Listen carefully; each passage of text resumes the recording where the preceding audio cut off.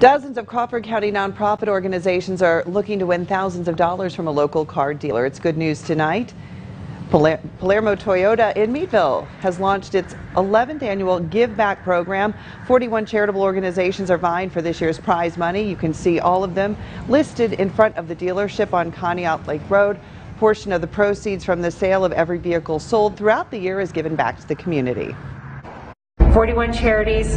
Please come in and vote. The first week we actually had 692 people to vote, so we're having a lot of people come in and we've had great success with it so far. Good luck to all the charities.